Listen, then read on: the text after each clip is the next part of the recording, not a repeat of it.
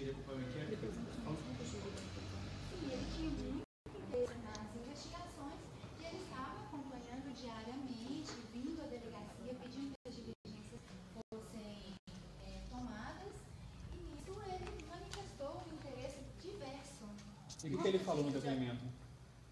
Ele nega qualquer coação ou, ou nega qualquer vantagem que ele tenha oferecido para a pessoa. Disse que essa testemunha assinou o termo de retratação voluntariamente. Quais são os próximos procedimentos?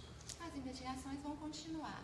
Nós temos o desdobramento da, do mandado de busca e apreensão de hoje e vamos continuar nas investigações. Só uma pergunta do Filho. Doutor, o falso não teve a prisão preventiva decretada, mas ele foi detido por quê? O que, que houve aqui que foi encontrado com ele que motivou a detenção dele hoje?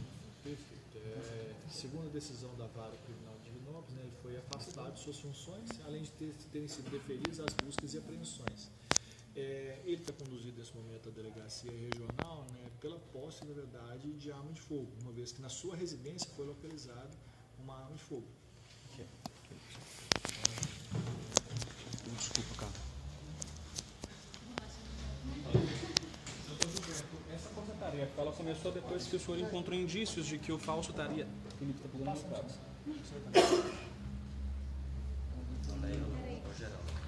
De que o falso Barros estaria tentando manipular o resultado de um julgamento ou o depoimento de uma testemunha? É, a impressão que se teve porque ele é, foi condenado por crimes de fraudes a licitações na gestão anterior do, do prefeito Galileu. E essa condenação foi proferida pelo Dr. Mauro Riuge, uma sentença brilhante do Dr. Mauro Riuge Yamani, juiz da segunda vara criminal aqui de Divinópolis, baseada inclusive em documentos e não apenas em prova testemunhal.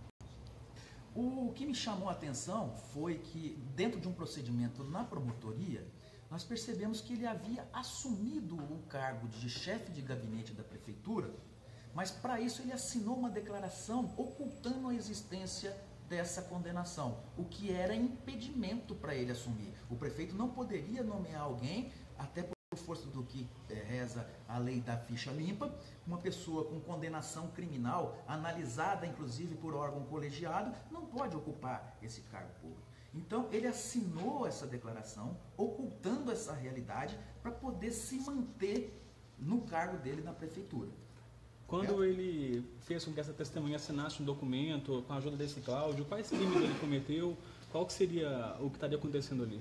O que a doutora Adriane, com muita propriedade, analisou e, e detectou, e depois a Força Tarefa se reuniu, é que ele, de certo, pretendia que a pessoa, voltando atrás no que disse dentro de um processo criminal, fosse um elemento de prova para ele tentar anular essa condenação que teve, né, já até no Supremo Tribunal Federal, confirmada pelo Supremo Tribunal Federal. É, é, a única forma de você desconstituir uma sentença, né, é, é, que já transitou em julgado, ou seja, em relação à qual não cabem mais recursos, é uma ação chamada revisão criminal, quando a pessoa tem que demonstrar nessa ação que a condenação dela foi baseada em falso testemunho, baseado em corrupção.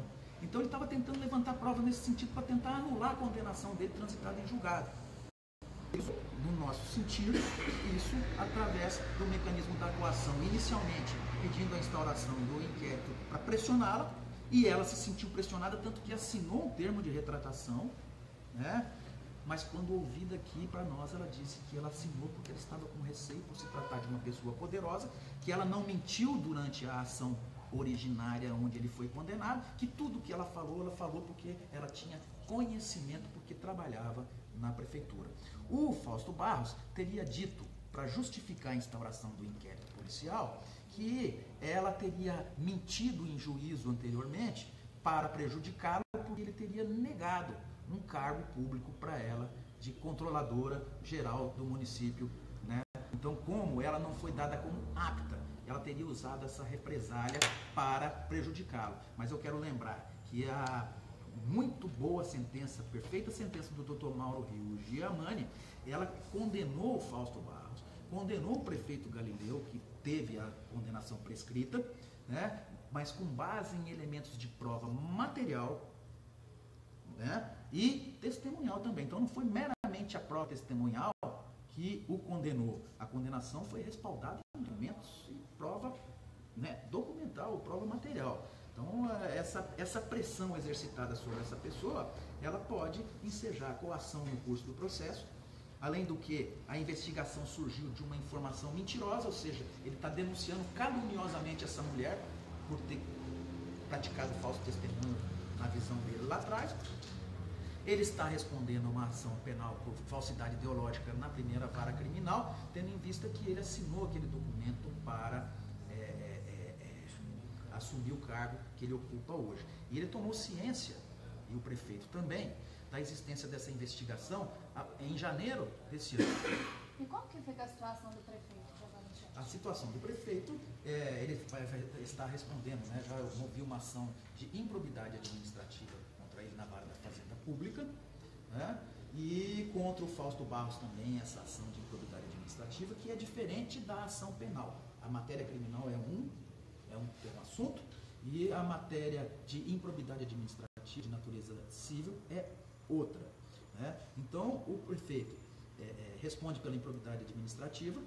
Nós encaminharemos também ao Procurador-Geral de Justiça né, informações né, a respeito dessa nomeação feita diante de um impedimento que pode ensejar a configuração de crime de responsabilidade previsto no Decreto-Lei 201 de 1967.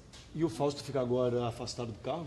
Ele fica afastado do cargo, é, já foi notificado pelo oficial de justiça, com a proibição, inclusive, de frequentar a, a prefeitura e outras repartições policiais. E além dos materiais apreendidos que foram citados aqui anteriormente, foi apreendido o celular dele também. E nós vamos prosseguir nas investigações para apurar né, a origem desse dinheiro de 29 mil reais em espécie que foi encontrado na residência dele durante a busca e apreensão e mais R$ 2.100 e mais um cheque que estava no bolso dele. Segundo ele, ele disse que ele não guarda dinheiro no banco e, portanto, esse dinheiro estava com ele porque é para as despesas diárias dele, cerca de R$ 2.100 em notas de 50, 20 10. Né? Mas eu quero deixar muito bem claro que o meu agradecimento aqui ao doutor Leonardo Moreira Pio, que junto com a doutora Adriene compõe essa equipe né, o doutor Wesley, né, o doutor Vivaldi, né, o doutor Marcelo, é, integrantes dessa força-tarefa, alguns agentes da Polícia Civil, agentes do Ministério Público também são integrantes dessa força-tarefa, que vai continuar trabalhando em caráter permanente para apurar qualquer tipo de outra ilicitude que possa estar acontecendo no serviço público municipal, no poder público municipal, seja ele no executivo, seja ele no legislativo. Promotor, existe indício nesse sentido? Existem algumas, alguns procedimentos que estão em andamento e que nós estamos, é, preferimos falar sobre eles no momento oportuno para não prejudicar as investigações.